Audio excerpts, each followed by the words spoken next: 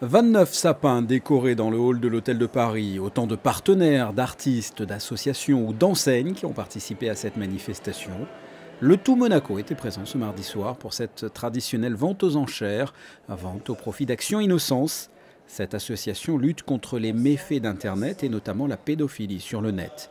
Une vente aux enchères capitale pour le bon fonctionnement d'Action Innocence. Cette soirée de sapin est merveilleuse parce que ce sont des dons que nous recevons justement euh, de, boutiques, de, particuliers, d'artistes euh, et qui vraiment sont chaque année, ils recherchent, ils font une recherche de plus en plus euh, originale je trouve.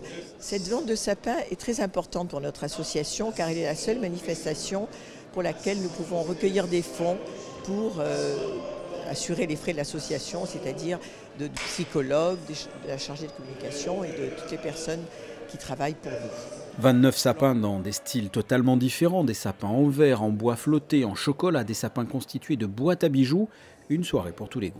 Eh bien, on trouve qu'il y a beaucoup de créativité, notamment pour le sapin qui réunit tous les, livres.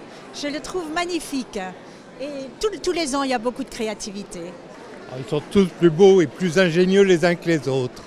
Certains très luxueux, d'autres très simples. J'aime beaucoup parce que d'abord, euh, il y a des sapins très originaux, certains sont très luxueux, d'autres euh, sont très intellectuels à la limite. Et puis le, décor de l'hôtel de Paris, c'est quand même unique au monde. J'adore les sapins en chocolat et si vous regardez, il y en a deux très très beaux. Il y en a un là, il embaume complètement la salle. Ça sent vraiment très très fort le chocolat. Il faut absolument que vous alliez le filmer, il est superbe. Et là, il y a les petits chanteurs qui vont se mettre à chanter. Donc... Vous allez faire des enchères?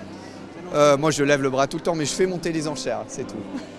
Cette vente aux enchères a permis de récolter 86 000 euros pour Action Innocence. A noter qu'une des décorations, la vente du sapin de la connaissance, est allée au profit de l'association Fightheads Monaco.